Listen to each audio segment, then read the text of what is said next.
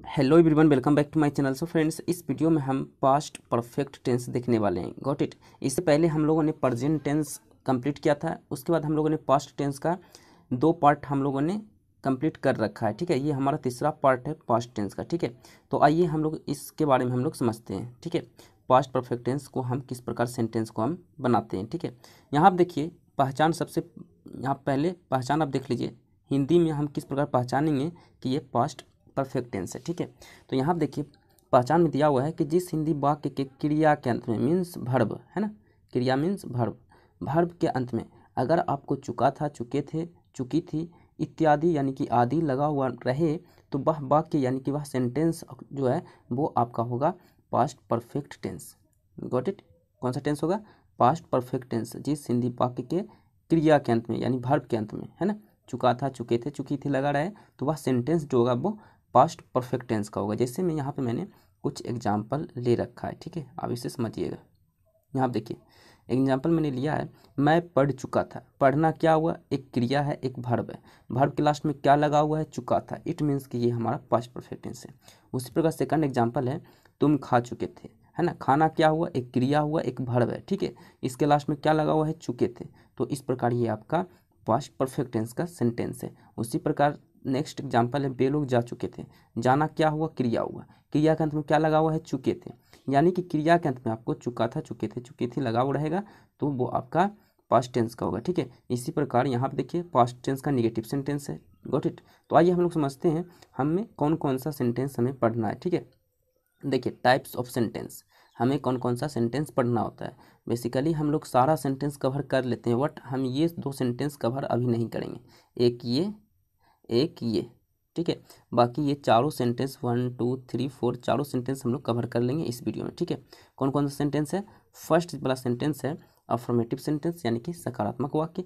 Second है negative sentence यानी कि नकारात्मक वाक्य। थर्ड है इंट्रोवेटिव सेंटेंस यानी कि प्रश्नात्मक वाक्य। एंड फोर्थ है इंट्रोवेटिव प्लस निगेटिव सेंटेंस है ना? प्रश्नात्मक वाक्य के साथ नोट लगा हुआ रहेगा निगेटिव का सेंस रहेगा, ठीक है? तो ये आपका हो जाएगा interrogative plus negative got it अब चलिए एक एक करके हम लोग समझते हैं स्ट्रक्चर के साथ। चलिए। फ़र्स्ट हमारे पास है अफर्मेटिव सेंटेंस मीन्स सकारात्मक वाक्य ठीक है? इसका स्ट्रक्चर यहाँ पे देखिए स्ट्रक्चर आपको क्या है? स्ट्रक्चर पे आप कमांड कीजिए। सबसे पहले आपका जो आएगा वो सब्जेक्ट आएगा, फिर हेड आएगा। हेड आएगा सब्जेक्ट कुछ भी रहे सिंगुलर रहे पुलरल रहे, है ना? आपका हेड आना ही आना है। उसके बाद जो भर्व होगा भर्व का तीसरा फॉर्म आपको लेना है थर्ड फॉर्म उसके बाद ऑब्जेक्ट यानी कि अदर वर्ड भी आप इसे कह सकते हैं। ओके और लास्ट में फुल स्टॉप ठीक है? ये आपका हो गया स्ट्रक्चर अफर्मेटिव सेंटेंस का, ठीक है? पास्ट परफेक्ट टेंस के अफर्मेटिव सेंटेंस का स्ट्रक्चर हो गया। इसी स्ट्रक्चर पे सारा का सारा एग्ज़ाम्पल जितने भी है सेंटेंस आपका बनेगा, ठीक है? चलिए, अब हम लोग समझते हैं यहाँ पे भर्ब का थर्ड फॉर्म क्या होता है। ओके, अब यहाँ पे देखिए, यहाँ पे देखिए, ये सारे का सारे क्या है? भर्ब है, ये फ़र्स्ट फॉर्म में है, जैसे गो मतलब जाना इट मतलब खाना लाफ मतलब हंसना स्लिप मतलब सोना कट मतलब काटना, है ना? ये सारे के सारे जो है भर्ब है, ठीक है? अब ये भर्ब का फ़र्स्ट फॉर्म है और ये इसी भर्ब का, ये देखिए सेकंड फॉर्म है, ये हमारा थर्ड फॉर्म है। तो इसी का यूज़ हम लोग करेंगे पास्ट परफेक्ट टेंस यानी परफेक्ट टेंस में जितने भी है प्रजेंट परफेक्ट लो पास्ट परफेक्ट लो या फ्यूचर परफेक्ट लो, सभी में जो है भर्ब का तीसरा फॉर्म ही यूज़ होता है। ठीक है जी? बात समझ में आ गई? यानी कि हम लोग क्या यूज़ करने वाले हैं? ये वाला, ठीक है? ये वाला भर्ब का थर्ड फॉर्म जैसे go went gone eat ate eaten laugh laughed laughed sleep slept slept cut cut cut, है ना? इसी प्रकार रीड रीड रीड होता है। Read R E A D read मतलब पढ़ना होता है। Read R E A D read इसको रेड हम लोग हम लोग प्रोनाउंस करते हैं। रीड रेड रीड ठीक है? फिर इसका रीड ही होता है, ठीक है? तो आइए अब हम लोग समझते हैं सेंटेंस को। इसमें थर्ड फॉर्म भर का थर्ड फॉर्म अप्लाई करेंगे, ये वाला, ठीक है? सारा का सारा ये वाला अप्लाई करेंगे, ठीक है जी? चलिए, यहाँ पे है, पहला एग्ज़ाम्पल मैं पढ़ चुका था। मैं क्या हुआ यहाँ पे? सब्जेक्ट मैं का होता है आई ठीक है? मैं का क्या होता है भाई? आई तो मैंने लिखा आई उसका क्या लगता है सब्जेक्ट के बाद? सब्जेक्ट के बाद आपका लगता है हेड क्या लगता है भाई? सब्जेक्ट के बाद आपका लगता है हेड ठीक है? तो आपने हेड भी लगा दिया। ठीक है जी? आपने क्या किया? हेड भी लगा दिया। उसके बाद पढ़ना का होता है रीड तो रीड का तीसरा फॉर्म अभी हमने आपको बताया था read read read read read ही होता है। ठीक है? रीड ही होता है। गोट इट तो इस प्रकार ये आपका थर्ड फॉर्म है ये। ठीक है? ये थर्ड फॉर्म है रीड गोट इट चलिए, अब हम सेकंड एग्जांपल देखते हैं। सेकंड एग्ज़ाम्पल क्या है, ठीक है? चलिए। सेकंड सेकंड एग्ज़ाम्पल है, तुम खा चुके थे, ठीक है? तुम खा चुके थे गॉट इट तो तुम क्या हुआ यहाँ पे सब्जेक्ट है ना? तुम क्या हुआ भाई यहाँ पे सब्जेक्ट तुम का होता है यू तुम का क्या होता है यू तो यू उसका हेड तो लगेगा ही लगेगा, उसके बाद खाना यहाँ पे क्या हुआ? क्रिया हुआ तो क्रिया का थर्ड फॉर्म है, ठीक है? इसमें ऑब्जेक्ट तो है नहीं अदर वर्ड है नहीं तो इसमें ऑब्जेक्ट नहीं आएगा, ठीक है जी? तो यहाँ पर देखिए, खाना का इट एट इटेन होता है, ठीक है? तो यहाँ पे इटेन मैंने लगा दिया, ठीक है? चलिए नेक्स्ट समझते हैं। वे लोग जा चुके थे वे लोग जा चुके थे। तो बे लोग यहाँ पे सब्जेक्ट है तो बे लोग का दे होता है, दे दे हो चुका है सब्जेक्ट कंप्लीट सब्जेक्ट के बाद क्या लगता है? हेड तो यहाँ पे मैंने हेड लगा दिया got it had they had उसका स्लिप का तीसरा फॉर्म क्या होता है? स्लिप्ट होता है ना? देखिए S L double E sleep P sleep S L E P T slept और फिर थर्ड में भी होता है slept sleep slept slept got it ये फ़र्स्ट फॉर्म हो गया फर्ब का, ये सेकंड और ये थर्ड ठीक है? यानी कि थर्ड और और सेकंड दोनों का एक ही होता है, ठीक है? चलिए नेक्स्ट सेंटेंस देखते हैं।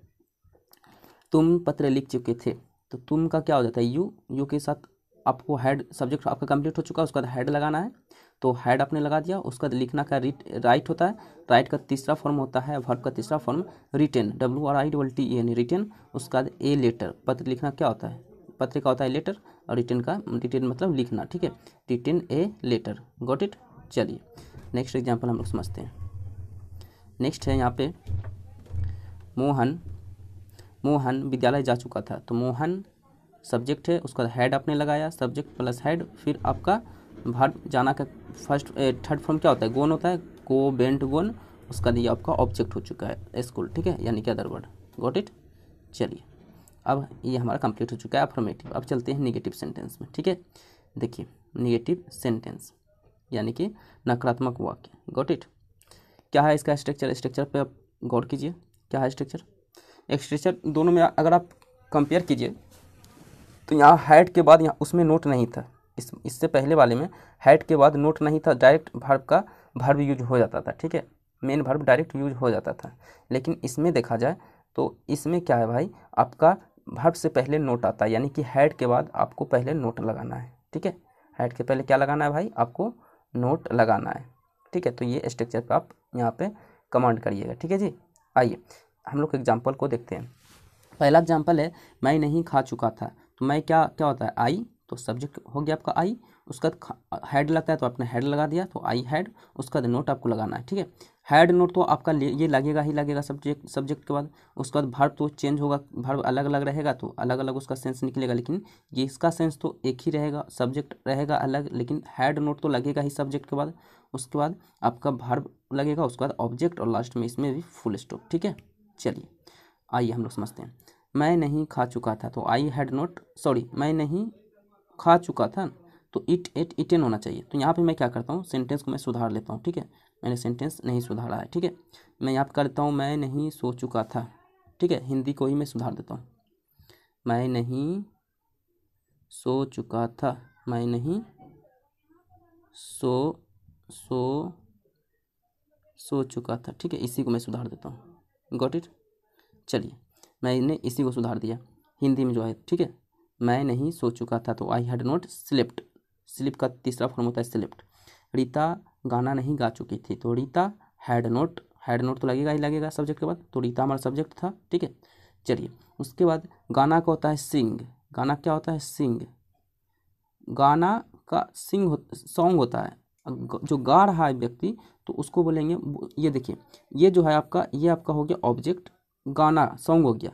और ये जो है गाना ये गा जो लिखा हुआ है, इसका मतलब है ये हमारा भर्व है, ठीक है? तो ये जो गाना होता है, इसका होता है सिंग सेंग और संग एस यू एन जी संग, ठीक है? तो इस थर्ड फॉर्म यूज़ करना है, यानी कि संग। गॉट इट तो ये आपका हो जाएगा। क्या हो जाएगा जी? यहाँ पे आपका हो जाएगा।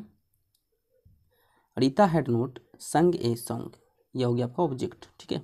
चलिए नेक्स्ट है, बे लोग नहीं आ चुके थे। तो बे लोग का दे होता है, उसका हेड नोट लगाना है आपको हेड नोट अपने लगा दिया। उसका कम आना का होता है कम। तो कम, केम, कम होता है, ठीक है? कम केम सी एम ई केम फिर कम ही होता है, ठीक है? थर्ड फॉर्म भी कम होता है, ठीक है? इससे रिलेटेड मैं वीडियो बना चुका हूँ, आपको मिल जाएगा, ठीक है? ये आपका थर्ड फॉर्म तक मैंने बना दिया है, ठीक है? चलिए नेक्स्ट सेंटेंस है, वह विद्यालय नहीं जा चुकी थी, है ना? तो यहाँ पर देखिए वह क्या क्या होता है? ही भी होता है सी भी होता है। लेकिन यहाँ पे है, जा चुकी थी। चुकी थी ये लगा हुआ इट मीन्स कि ये कोई फीमेल है, ठीक है? यानी कोई लड़की है, ठीक है? यहाँ पर आता है, वह विद्यालय जा चुका था तो इट मीन्स कि वो कोई मेल है, ठीक है? तो यहाँ पे चुकी थी लगा हुआ है इट मीन्स कि ये क्या है? कोई मेल है, ओके? कोई लड़की है। तो हो जाएगा आपका शी, उसके बाद सब्जेक्ट हो चुका है, उसका बाद हेड नोट लगाइएगा तो हेड नोट उसका जाना क्या होता है? गो वेंट गोन तो गोन टू मार्केट ये मार्केट हो चुका है ऑब्जेक्ट ओके? चलिए। नेक्स्ट सेंटेंस हमारे पास है, मैं पत्र नहीं लिख चुका था। तो मैं का आई होता है सब्जेक्ट हो चुका है सब्जेक्ट के बाद आपका हेड नोट तो had not I had not उसके बाद लिखना का होता है रिटर्न थर्ड फॉर्म तो रिटर्न ए लेटर पत्र का होता है लेटर ठीक है? तो ये ए लेटर आपका हो चुका है, ठीक है जी? चलिए, इस प्रकार ये आपका निगेटिव सेंटेंस कंप्लीट हो चुका है। चलिए नेक्स्ट सेंटेंस है इंट्रोगेटिव इंट्रोगेटिव सेंटेंस इसमें क्या है, पहले आपका हेड आएगा, उसके बाद सब्जेक्ट उसके बाद मेन वर्ब आएगा, उसके बाद ऑब्जेक्ट और लास्ट में क्वेश्चन मार्क ठीक है? ये आपका हो चुका है स्ट्रक्चर ठीक है?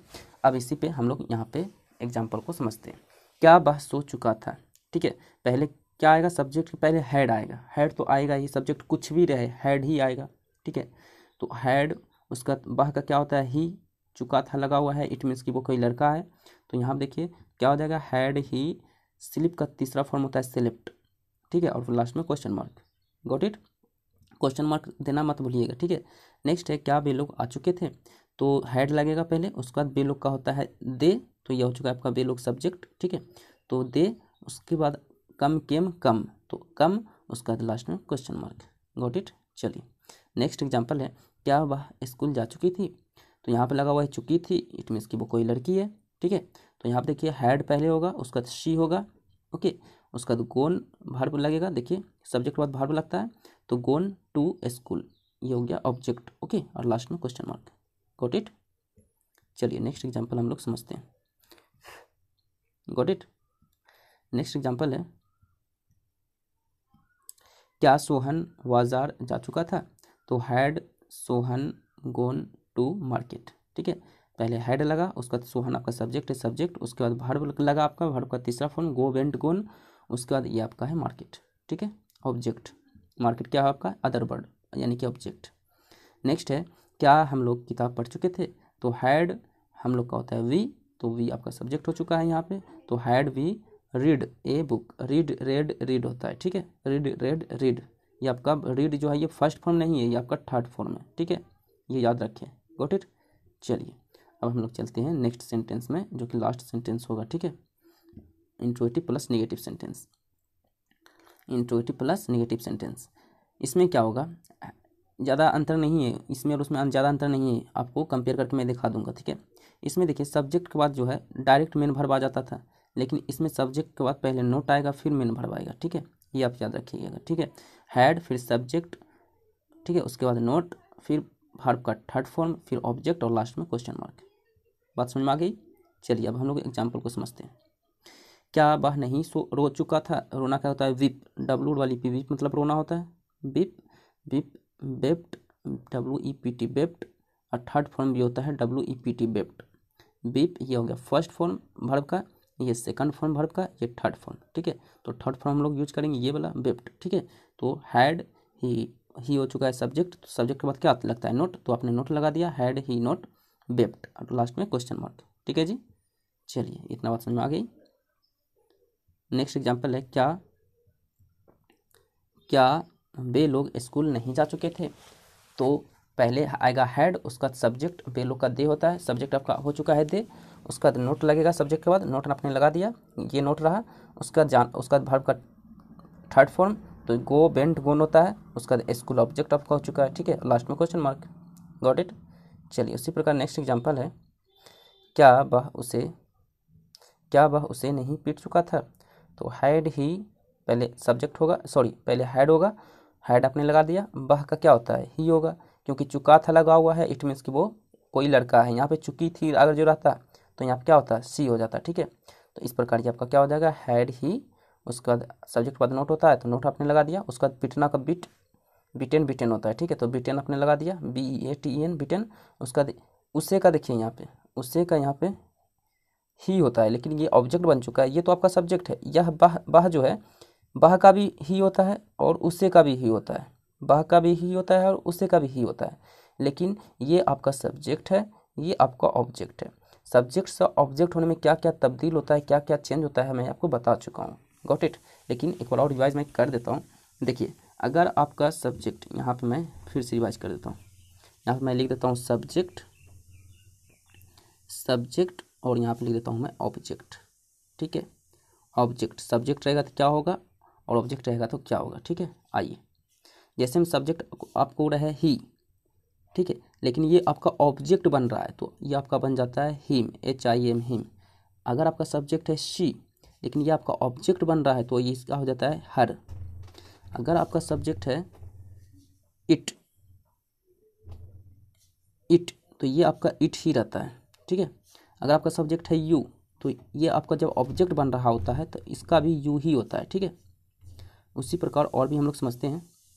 उसके बाद आपका सब्जेक्ट मान लीजिए है we W E we we मतलब हम लोग तो इसका हो जाता है एस, यू एस एस।